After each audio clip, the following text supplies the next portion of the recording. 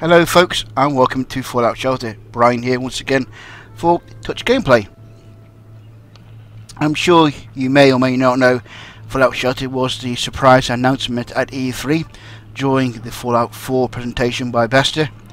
Um, it is taking the App Store by storm by briefly going to number one spot, uh, knocking out the likes of Candy Crush, Clash of Clans, God's War, etc, etc, before it has slipped down the chart since to about 4th and 9th, depending on the chart you're looking at at present moment. Now, I've been playing Fallout Shelter for about two, about a week now, possibly two weeks since it came out in E3. Um, and I we're going to sort of give you a brief rundown of how the game plays um, and show you some of the features of the game. So, without further ado, we shall enter the vault. 32. Now you have to I'll have to apologise if I cough because I'm suffering from a oh dear, excuse me. Excuse me. I'm suffering from a cold at present moment, so please bear with me if I cough or splutter when I'm doing this video. I got to get it done because I wanted to show you guys what it's like. Okay, here we go. Right. Let me just collect these resources first because I don't want to run short and explain to you how the game runs, etc, etc. Okay, right. Brief tour of the game. Okay, uh, examples of the game. Brief, brief tour, brief tour, that's it. Brief tour. Okay, so we have power, food and water in that order of, of importance. Power is the thing that powers basically your vault, which you're looking at, which and without power then your building your rooms will shut down and if they are your food and water producing rooms then you can get in some serious trouble so you need to make sure that's been worked. You need to make sure you've got plenty of power. Next next comes food. And once again with no food then your dwellers will start will start uh, taking damage on their health. Once they get down to zero then they will die. And the only way to get them back it will be by using the caps which is to see there the top the top right hand side of the screen. And finally water and once again if you come low if you run low on water then your guys sorry dwellers will start taking radiation poisoning and after so much then they once again will die and I say once again to revive them you will have to pay caps and that can get expensive if you have a very high level dweller in your vault which you want to try and keep alive. Now as you can see here I've got I've got two green boxes flashing up on the screen at the present moment. Uh, that one being my water and that one over there being my food at present moment. Okay, so by clicking on that I then collect that food and water into my resource area. So there we go. There's a little bit more resources to time me over. Now the work it works by the following principle is in this case every about minute or so I will generate 40 water okay and for my uh, food about one minute about over a minute or so I get 40 food for my uh, okay just that 40 food. So and then in my power about oh just about near generated here. Okay collect my water collect my uh, power there we about every two minutes on that particular room get 49 and in this room it's about another 40 or minute 40 odd seconds not minutes I'll get 49 uh, power in that room as well. So say these three these well I'll say these buildings these these rooms are the most important area for generating resources and you need to make sure you've got enough of these in your vault to keep your uh, dwellers alive now each vault can take over 200 can take up to 200 people maximum and after that you can't take any more but believe me, that will probably take a while you, for you to get there if you are being very careful with your vault. Let me just collect that more resources there. Because the thing with this game is you can't rush the game.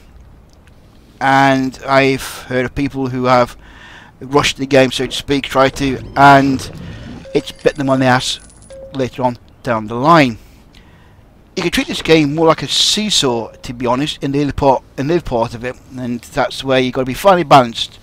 If you go too far to left or too far to right, the seesaw will tip over, just like, and this is the same, same principle in this game. Uh, I've just got a random event here, and let me just sort that out. There we go, the random event that will happen in your vault, and there can be fires, uh, infestations from roaches, which are can be fatal to your uh, vault if you don't handle it very quickly, and also random raider attacks as well. So we'll just deal with that. One smart thing about um, events in this game is if you have an event in a room where there's nobody about, then you can assign people into a room to deal with the event. And once the event is over the people will actually go back to where they originally came from. So you don't have to try and remember where they came from. The game will send them back to their to their original rooms which they're working in which is quite nice. Okay so can I just collect my resources there now just let me scroll over here now over here is what we call this is one room which generates med packs for radiation poisoning and every so many minutes this one will generate you know two med packs every 33 minutes but say once again, if you have the more people in there with the with a high intelligence skill, the shorter time will be I have to wait. Let me just collect some of these again. Food and water. Sorry, that'd be electricity and food. There we go. And down here, you can see is where I would have Stimpaks. Uh, these are for these are for healing my dwellers. So this room would generate three Stimpaks um, every three minutes roughly and that one was about a minute left before that reached two and these are essential especially when you're getting raided because your dwellers will take damage and if you don't heal them uh, during a raid you could possibly lose them and that cost you caps and the caps is once again that C at the top of there and you say a, a guild high um, dweller can cost you a lot of caps so the last thing you want to do is be running short on caps or Stimpaks. If you're gonna, if you're running low in Stimpaks, so I should say, if you're running low on uh, caps, then you don't want to be running low on Stimpaks because otherwise, if you can't revive your dweller or don't want to, then you're going to have to remove them as quick as can because the other dwellers will take a disliking to having dead bodies in their room, as you can imagine. I'm just collecting my food there. Okay, and now next thing you can see is just look at icons here above the, above the dwellers. That means they level up. Every time they're working in a particular room, a producing room should say, then they will level up. So they level level 30. And every time they level up, you get caps, which is most important. And the the higher level, the more the more health that they will have. So that means they can survive longer. But I say once again, if they do die, it costs you more caps to revive them. So you always make sure you try and keep them alive if possible because you can also use them to go out in the wasteland area. More of that later. Let me just uh, level up my characters. So you can see every time I get every time I level up, I get caps, which is very very handy. And I just got Stimpak there collected. Some more caps there, like so. There we go. Okay, and now here is my training area. Now these guys are leveling up their skills at present moment. He's just leveled up one skill. There we go. And this one's leveled up a skill as well. That's his ability, agility there, just leveled up to one. So excellent. Just collect my power again and level up my sims. Sorry, I keep looking sims. Dwellers, that's better. Go on, get it right, Brian, get it right. Just click, uh, there we go. And more power there, there we go. Now you can see here, I'm doing quite well, I would say, because the thing with this game is a lot of people having having the bump problem. And that is where they start off doing very well, and then all of a sudden they start running out of resources and that's probably because I think it's when they start having babies. Yes, you can actually get the sim, sorry, the dwellers together and to create babies, and this is the way you get more dwellers into your vault, apart from the uh, registration down there, of course. Um, and you do this simply by, let me find a couple of people I want to use. Now, what I always find with uh, um, with dwellers, if they are not feeling too bright or feeling a little bit depressed, then you can see here, you come down, and okay, we've got two candidates I can use here, uh, Victoria and Josh. Okay, now he's in the power plant, and she's in the science station, so I'm going to find him. Let's go find Josh first, and he is that green guy. Oh, on, missed him. Let's try again. Let's find Josh. Okay, come down, down again. Come on, matey, where we are? There's Josh. He's there. There you go. Highlight him. Bring across into there. Whoops. Nope. Thank you. Bring across into there. Thank you you go back into there, thank you very much. And we're looking for one more, looking for a lady. And let's find, come back down and just and see we've got we can use we can use Victoria Prow. Um, let's see now. No, power plant. I use Emma Emma Page. and she is highlighted there there we go and I put her into there like so and there we go now what happened after a while let's just, let's just zoom into here and we show you what happens now I've just collect my resources while we're waiting for them to uh, start uh, hitting it off so to speak there we go. Collect my resources and let me just zoom into here. What happens after a while is here we go. We get to see them sort of flirting with each other. Yes yes I'm afraid you got cheated. Chat up lines sort of longer lines of.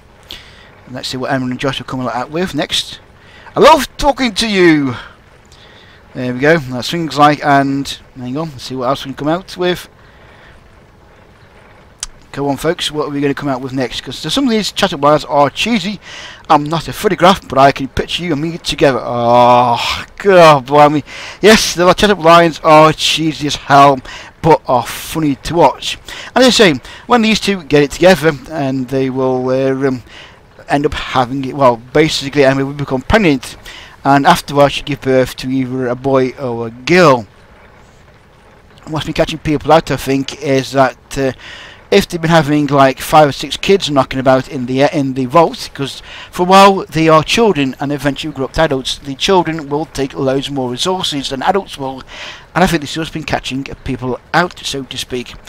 And oh dear, as I say, let's listen to it as they will decide to hit it off some point in maybe the next few minutes or so.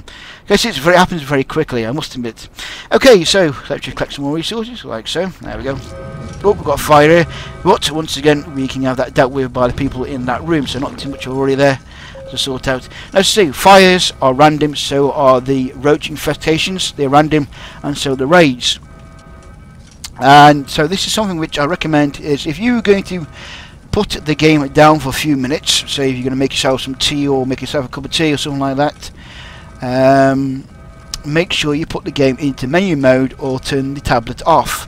Because if you have a, like a, um, a roach infestation or get raided, um, you can end up finding your vault can be dead in a matter of minutes or seconds, especially a roach one, because they can clear out a roach infestation can literally clear out a room within seconds, killing all your dwellers. And the last thing you want is to be losing dwellers, especially in a in a um, as I say, in a resource in a resource producing room.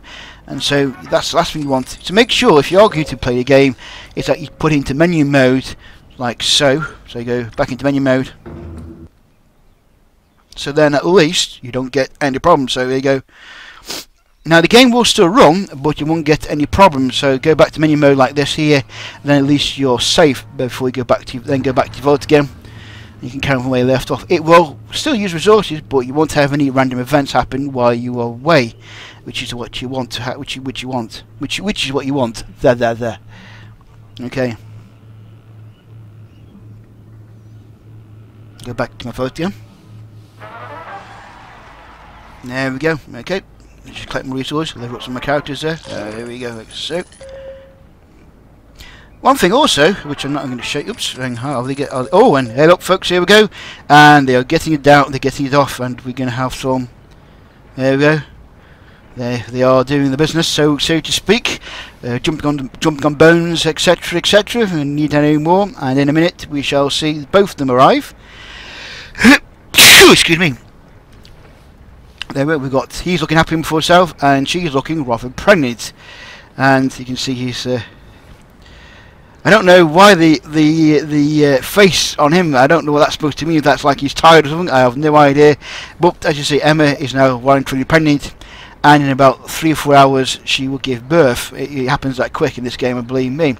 So and that is what catches people and that is what I think catches people out is having lots of ladies pregnant they give birth and they can't sustain the um, demand on resources at the time being so let's put these guys back if I can remember where they went I think he went in there like so yep he went in there and she went in the science station I think let's see where can if she's useful anywhere no nope oh she could go there uh, or there. No, get back in there as well. Put it back in there. So there we go. Yes, and she can still work while she's pregnant. But if there's an event such as a fire, say fire, a roach infestation, or raid attack, then she will go and hide as well. Like she will go and hide. And same thing applies to children that are knocking about when you have when the uh, when your uh, women women when your ladies give birth, you have the children that will run about the vault for a brief while, and they too will hide in the um, hide in the residential areas, well, I should say, the bunker bed areas while there is an event going on. Okay, now moving on to the wasteland area. This is where I've got two people at the present moment out in the wastelands exploring their areas at present moment and as you can see I've got this this one character Sarah uh, who's been out for five hours so far and she has got caps of 426 she's found being 11 of south up and she found some weapons for us as you can see. We have a pistol a shotgun another pistol a BB gun and also a, a hunting rifle. And uh, um, you can leave them out as long as you like but make sure you have got um, some medical, say you got um, Stimpaks with them so they can heal themselves, or radiation poisoning packs so they can heal themselves to get radiation poisoning because if they die, you can revive them if they die in the in the wastelands, but once again it costs you. And, and at level 40, she will be pretty expensive to revive, especially with all these nice weapons that she's got. So what I'm going to do, because she is getting low on health, I mean I'm going to recall her. Let's see what she does regarding this giant ant worker. What she can do, she killed it and she suffered damage and also gained 510 experience points. But let's recall her, because I could do them weapons. So she'll be back in roughly two hours, real time that is. And let's look at my other guy as well, my one that's out there exploring. And she has found, uh, well she's, uh, Dave, sorry, David has found nightwear, um, a pistol, sc rusty scoped, 44, BB guns. Go back to there again. That's it next character, there you go, next character please, thank you. BB gun and a couple more pistols as well, so, and I'm going to recall him as well, and he'll be back, so if we go recall, he'll be back about an hour 48. And they can be, I say, they can be out as long as you like, but make sure you have give them enough uh, Stimpaks, heal themselves if they get low. Um, but I said the longer they're out, the more chance they can get uh, good stuff, but more chance they can get actually killed as well and there's no limit to how many people you can send out. You can send as many out as you like.